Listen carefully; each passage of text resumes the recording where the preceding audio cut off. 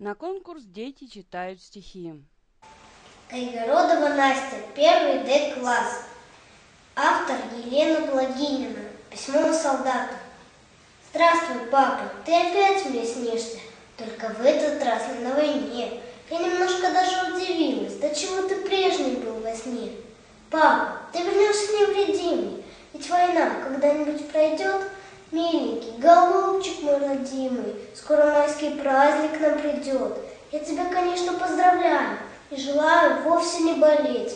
Я тебе желаю всей душою поскорее фашистов одолеть, чтобы они нас крайне разрушали, чтобы как раньше можно было жить, чтобы они мне больше не мешали, обнимать тебя, тебя любить, и чтобы над всем таким огромным миром днем ночью был веселый свет.